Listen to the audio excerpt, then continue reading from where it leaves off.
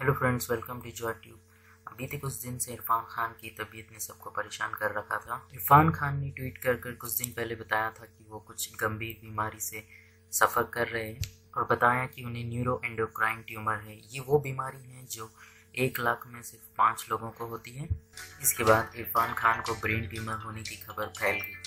इसके बाद इरफान खान ने ट्वीट किया है और इस ट्वीट में उन्होंने कहा है कि उन्हें न्यूरो एंडोक्राइन की बीमारी है। चलिए, इस बीमारी के बारे में हम कुछ जान लेते हैं। आपकी पाचन ग्रंथि को पेट संबंधित विकृतियों को पैदा करता है। हाल ही में फ़ूड एंड ड्रग एडमिनिस्ट्रेशन ने इसके एक नए इलाज की मान्यता दी है। ऐसा ज़रूरी नहीं है कि ये बीमारी सिर्फ़ ब्रेन से ही संबंधित हो। एफडीए ने एक रेडियो एक्टिव दवाई को मंजूरी दी है, जिससे मरीज़ की जान बचाई जा सकती है। और इस नए ट्रीटमेंट का नाम ल्यूटाथेरा है।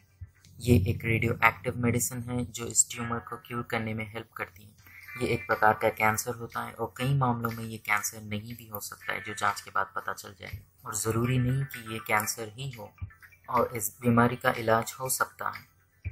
जानकारों की माने तो दो से तीन महीने में इस रेडियो एक्टिव मेडिसिन से इस बीमारी का इलाज पॉसिबल है।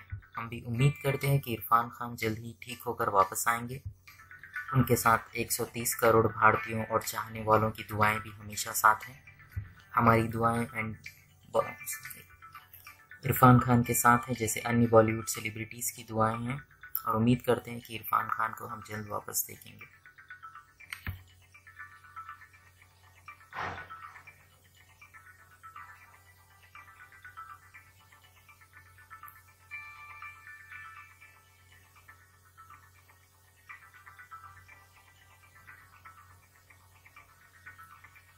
फ्रेंड्स थैंक्स फॉर वॉचिंग और न्यूज़ के लिए चैनल को सब्सक्राइब करना बिल्कुल भी ना भूलें एंड बेल नोटिफिकेशन ज़रूर दबाएँ।